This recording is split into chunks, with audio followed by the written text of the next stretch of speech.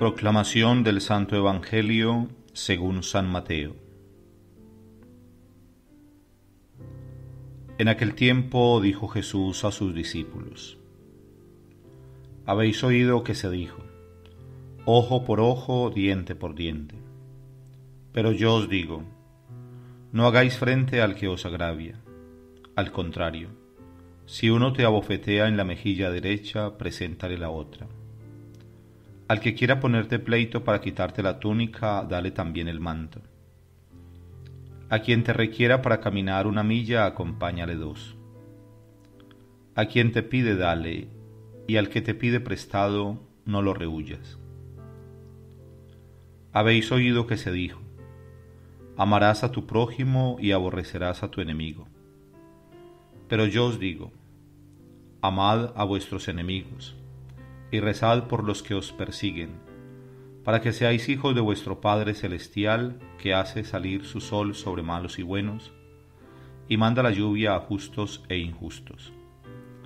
Porque si amáis a los que os aman, ¿qué premio tendréis? ¿No hacen lo mismo también los publicanos?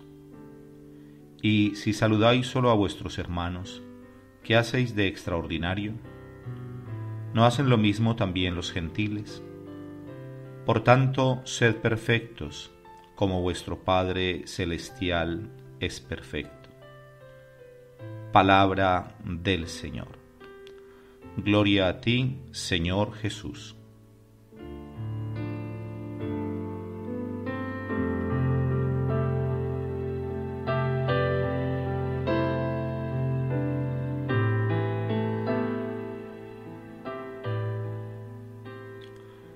Queridos hermanos, nos encontramos hoy en el séptimo domingo del tiempo ordinario.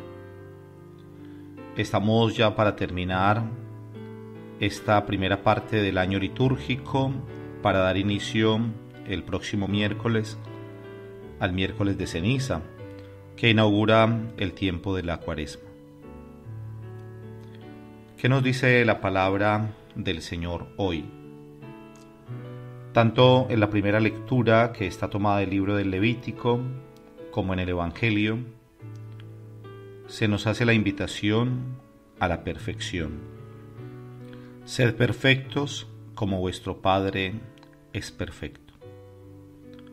Y esta invitación a la santidad está profundamente unida al amor al prójimo. En la primera lectura tomada del libro del Levítico, se nos dice que no odiarás de corazón a tu hermano. También se nos dice que reprenderás a tu prójimo para que no cargues tú con su pecado. Eso también significa que aquella sabiduría que el Señor nos va regalando a través de su palabra nos lleva a no entender mal el amor del prójimo, guardando silencio muchas veces ante las injusticias. Debemos recordar también que el Señor nos habla en su palabra de la corrección fraterna al hermano. La santidad, que grande esta llamada que hemos recibido todos del Señor, todos los bautizados, la llamada a ser santos. Todos hemos recibido una vocación, la vocación a la vida. Ninguno de nosotros se ha dado la vida a sí mismo. Es un regalo de Dios. Y esa vocación sublime a la santidad es algo muy grande. Y esa santidad es la unión con Dios. Es la transformación del ser humano en el hombre perfecto como Cristo, que es nuestro modelo. Por eso San Pablo nos invita a ser el buen olor de Cristo, el buen perfume de Cristo, a ser otro Cristo, es decir, en esa transformación que el Espíritu Santo va obrando en nosotros.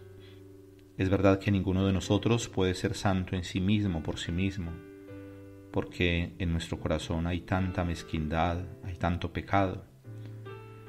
Sin embargo, el Señor nos ha creado a su imagen y semejanza y nos invita a la perfección. Y si Él nos invita a ser santos es porque es posible y podemos ser santos cooperando con la gracia de Dios, dejando que el Espíritu Santo, el Espíritu del Señor, actúe en cada uno de nosotros. Tenemos muchos santos en la iglesia, canonizados, pero quizás hemos entendido mal el sentido de los santos, porque es verdad que ellos son intercesores ante Dios, pero quizás los hemos reducido simplemente a que nos sirven para cosas concretas, determinadas. Entonces la gente piensa, este santo sirve para esta intención particular, si no tengo trabajo hay que rezarle a este santo, si estoy enfermo de tal enfermedad le rezo a este otro santo, si tengo una necesidad concreta tengo que rezarle a este otro, bueno, en fin. Pero creo que los santos en la iglesia, el Señor nos los pone para que conozcamos sus vidas, para que nos demos cuenta que ellos hicieron un camino como el que hacemos nosotros todos los días, con luchas, con fatigas.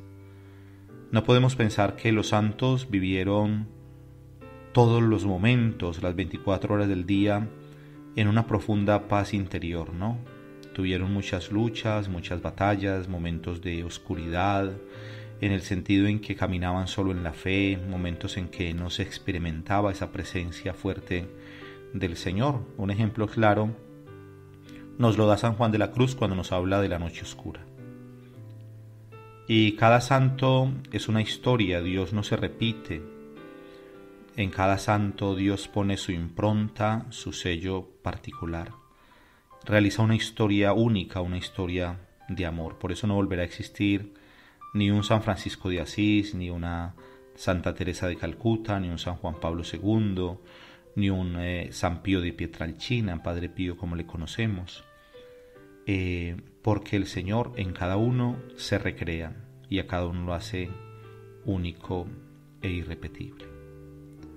Tenemos el camino de la santidad que es Cristo el Señor, la palabra de Dios, por eso qué bueno que todos los días meditemos la palabra del Señor, que no nos conformemos solamente con escuchar el Evangelio cuando vamos a misa el domingo, o que pensemos que, por ejemplo, porque recibimos en nuestro teléfono eh, esta homilía o porque buscamos en internet de pronto una predicación de alguien que nos gusta cómo habla, pues que es suficiente. De una vez aprovecho para decir que el escuchar este Evangelio del domingo y escuchar esta reflexión no suplen la Santa Misa. Solamente las personas que están enfermas, que no pueden salir de casa, pues es válido que vean la Santa Misa por la televisión y pues lo mejor sería que también el sacerdote eh, le pueda llevar la Sagrada Comunión a su casa. Pero eh, las personas que están sanas, es un mandamiento el santificar las fiestas y por lo tanto debemos ir a la misa, participar de la Santa Misa. Esta homilía es solamente una ayuda para que cuando vayamos a la Santa Misa pues podamos ahondar más. Obviamente que en cada lugar donde se participa de la misa pues el sacerdote hará la predicación, hará la homilía, pero quizás en casa también con tranquilidad, con calma, podemos volver a escuchar pues esta reflexión del Evangelio, o antes de ir a la misa, o después, o en cualquier momento de la semana, y nos va a ayudar a comprender más el sentido de la palabra del Señor.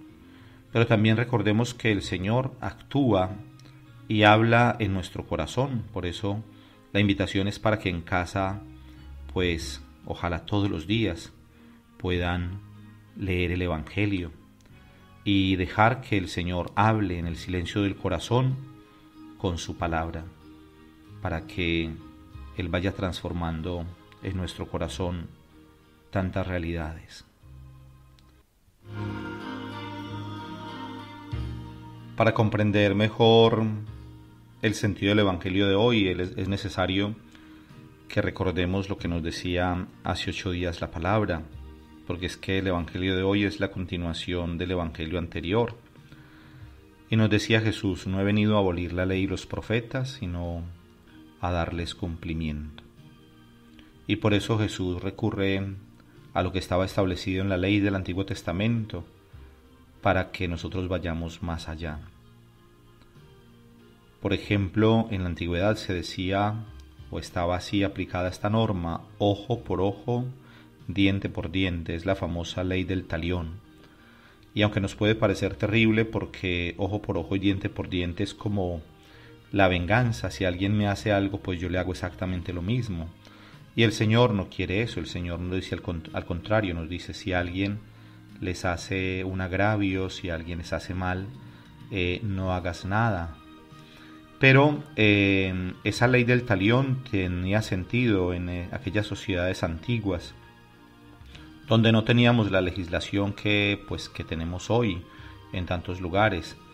Y sencillamente el ojo por ojo y diente por diente era una manera de garantizar que alguien que recibía alguna cosa negativa, que le hacían algo, pues no fuera a tomar eh, pues una eh, cosa desproporcionada. Por ejemplo, si alguien eh, de pronto le había golpeado, le había pegado un golpe, pues que esa persona reaccionara con un arma, ¿no? Con un cuchillo o que de pronto llegara incluso a quitarle la vida a alguien en un momento de ira. Entonces, pues lo que hacía esa norma era que la otra persona recibía exactamente lo mismo que había dado.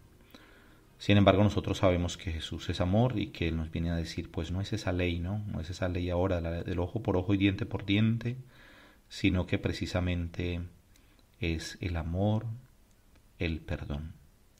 Realmente cuando leemos esto que nos dice el Señor, si uno te abofetea en la mejilla derecha, preséntale la otra, si alguien quiere ponerte pleito y quitarte la túnica, entrégale también el manto. Eh, si alguien te pide que lo acompañes un kilómetro, acompáñalo dos.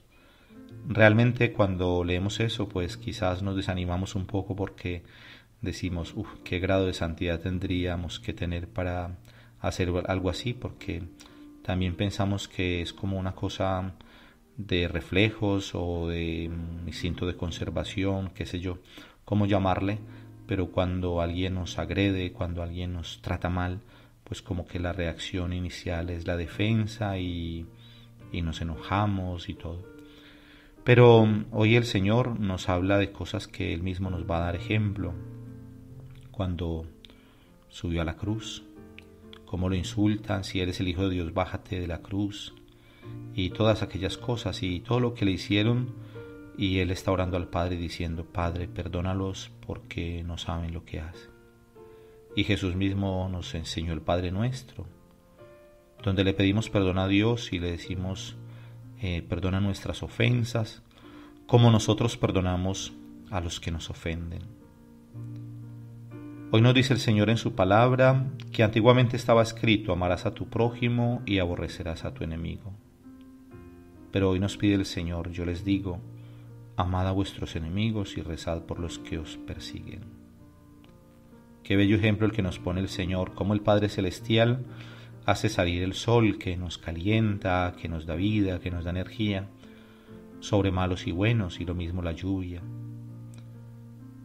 Jesús nos dice hoy que si amamos a los que nos aman, ¿qué mérito tenemos? Finalmente, la gente que está lejos de Dios, la gente que no cree, también hacen lo mismo, aman a los suyos.